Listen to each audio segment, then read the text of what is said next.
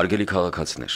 հայոց ցեղասպանության 106-րդ տարելիցին նվիրված հիշատակի եւ երարգության միջոցառումները կմեկնարկեն ապրիլի 23-ին ժամը 23-ին Ծիծեռնակաբերդի հայոց ցեղասպանության հուշահամալիրում։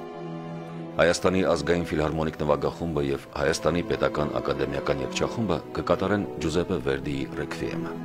Համերգը կղեկավարի նվագախմբի գեղարվեստական ղեկավար եւ գլխավոր դիրիժոր Էդուարդ Թոփչյանը։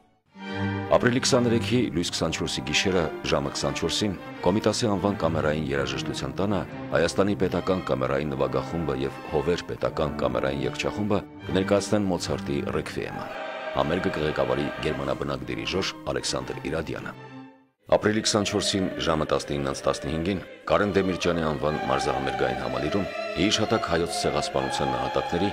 Հայաստանի Հանրապետության վարչապետ Նիկոլ Փաշինյանի հովանու ներքո տեղի կունենա համերգ։